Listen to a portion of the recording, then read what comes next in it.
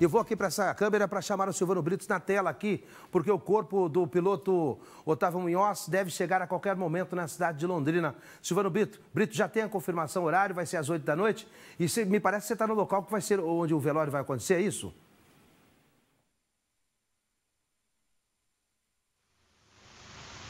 Serginho, na verdade, a família havia divulgado que o velório seria no cemitério Parque das Oliveiras. Nós não conseguimos é, confirmar com o cemitério Parque das Oliveiras, mas também havia a informação de que poderia ser no Parque das Alamandas, um outro cemitério que fica ali próximo ao Parque de Exposições Ney Braga. E aí sim veio a confirmação então de que o velório será realmente lá no cemitério Parque das Alamandas a partir de amanhã. Ainda não tem horário definido, é, é necessário acompanhar a, a, divulgação ali do obituário da ACESF para saber o momento que será liberado, porque o corpo ele está vindo lá de Roraima para Londrina. Então ainda não há confirmação do horário. É, vai passar pela ACESF, não para preparação, porque esse corpo já foi preparado.